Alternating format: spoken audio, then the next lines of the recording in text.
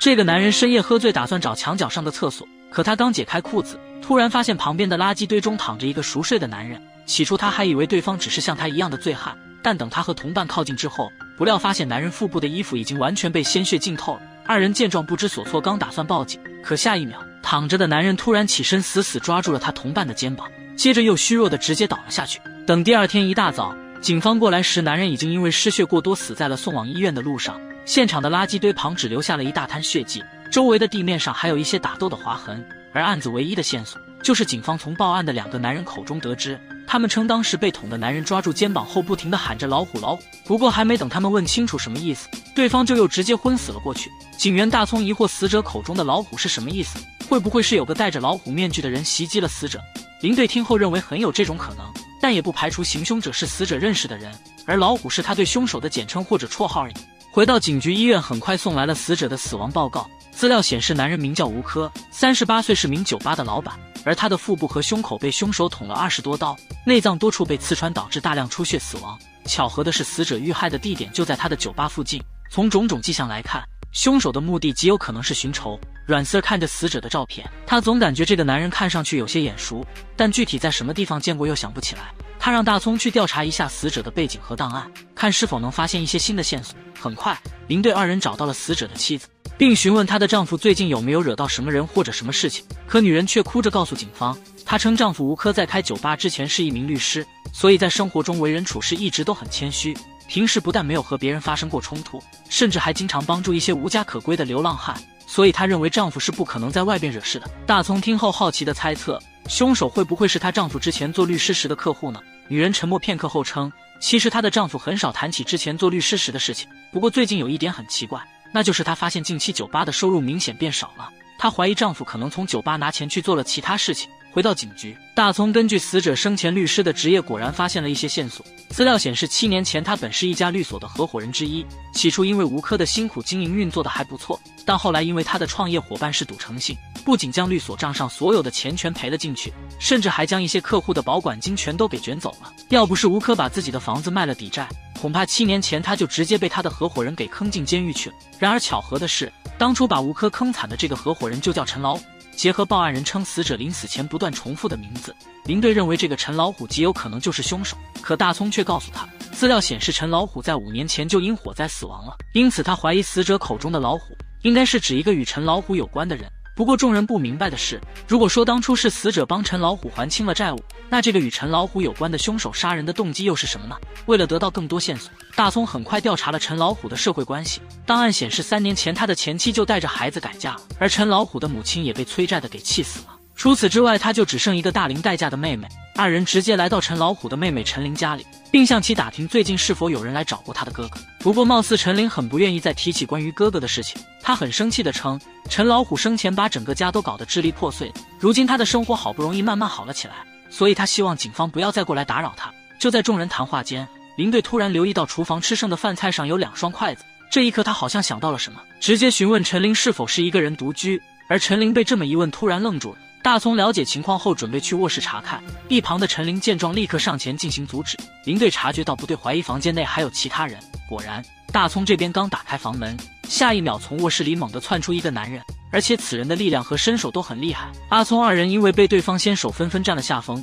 经过一番激烈的搏斗，男人看准时机，直接跑出了屋子。此人似乎对周围的环境很是熟悉，直接利用优势甩开警方，并快速进入了电梯。不过还好，林队及时追了上来。二人在狭小的空间里展开剧烈搏斗，大葱担心林队出事，忍着剧痛疯狂下楼追赶电梯的速度。然而等他来到一楼时，出现在他眼前的竟是已经昏迷的嫌疑人和气喘吁吁的林队。林队疑惑此人到底和陈老虎是什么关系？如果他就是凶手的话，那陈老虎的妹妹又为何冒险包庇这个男人呢？将此人带到警局的审讯室，面对林队二人的审讯，男人只是称自己名叫周国涛，是陈琳的男朋友。至于他逃跑的真正原因，男人却始终保持着闭口不答。由于现在没有直接的证据证明男人与吴科的死有关，林队试着带他来到了死者被捅死的现场，并询问他昨天晚上凌晨两点左右在哪里。男人看着地上的血迹，明显变得紧张了起来。他解释自己昨晚一直和陈琳在家里睡觉，并称对方可以做他整晚的时间证人。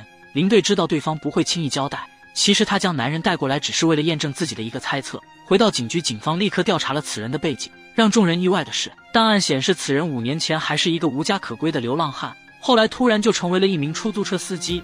而就在这时，林队也说出了自己的猜测，他怀疑这个周国涛很可能就是五年前被烧死的陈老五，因为他对比了二者的身高和体型，感觉实在是太像了。警方虽然已经联系他的前妻要来孩子的 DNA 进行对比，不过这些都不重要。因为即使证实了林队的猜测是对的，那在没有证据的情况下也无法将其逮捕。眼看案子即将就此搁浅，林队直接来到审讯室。他已经调查了陈老虎出火灾前的资产情况，发现纵使当年吴科帮他还了那些客户的钱，但其实他在外边还欠了很多高利贷。五年前他背井离乡躲了起来，不过他小看了那些追债的人。而且听说目前为止，他的很多债主仍不相信他已经被烧死了。所以林队建议男人老实交代，因为一旦 DNA 结果出来证实他就是陈老虎的话，那他认为对方在监狱里活的时间明显要比外边长得多。男人听后似乎想要说出什么，沉默片刻后，他称其实那晚吴科的死只是一个意外。五年前他为了躲避那些高利贷追债的人，恰好那段时间陈林在桥下发现一个病死的流浪汉，在妹妹的帮助下，他找了一个私人的整容医生，就这样。他成功代替了流浪汉的身份，并开始了新的生活。直到有一次，他误打误撞走进了吴科的酒吧。他本以为对方不会认出自己，再加上之前一直感觉对他有所亏欠，所以就想着假装陌生人喝一杯再走。不过他忽略了一个细节，那就是在付钱时，他不小心把之前一直用的打火机给漏了出来。而那个打火机是很久之前吴科送给他的礼物。本以为自己可以糊弄过去，但直到离开时，他突然喊出了自己老虎的绰号，而他条件反射的停留了下来。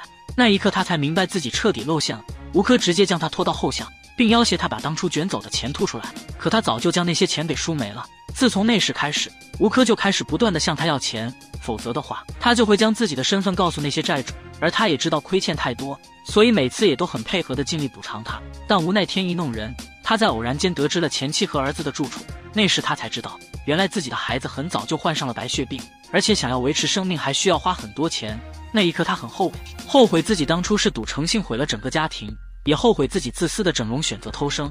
而恰好那晚吴科再次找到他要钱，他把自己儿子的情况说了出来，并打算以后不会再给他钱了。但他还是小看了吴科对他的恨意，对方听后竟然二话不说拿刀朝他捅了过来。不过好在他反应及时，直接夺过刀后反手捅了回去，所以他认为当时自己只是出于自卫杀了吴科。本以为真相已经大白。林队二人从审讯室出来后，阮四认为陈老虎的口供不一定是真的，因为如果只是正当防卫的话，那至于接连防卫二十多刀吗？果然，很快警方在陈老虎妹妹的家里找到了捅死死者的凶器，而经过对上面的指纹对比，发现上面根本就没有吴科的指纹，也就是说，死者从头到尾就没有碰过这把匕首。再结合吴科的妻子曾说酒吧的钱最近一直在变少，因此警方推测死者才是那个给陈老虎钱的人，而最开始他去找吴科，也应该并非误打误撞。其实是他希望吴科能借一些钱给他帮儿子看病，无奈善良的吴科多次帮助他后已经没有什么积蓄。那晚吴科决定不再给他钱后，二人发生了争吵。过程中或许吴科用他身份的事情对其进行了威胁，而这恰恰是陈老虎最担心的弱点，所以一不做二不休，直接捅死了吴科。陈老虎听完惭愧的低下了自己的眼睛。一集一个悬疑故事，我是莽牛，感谢三连。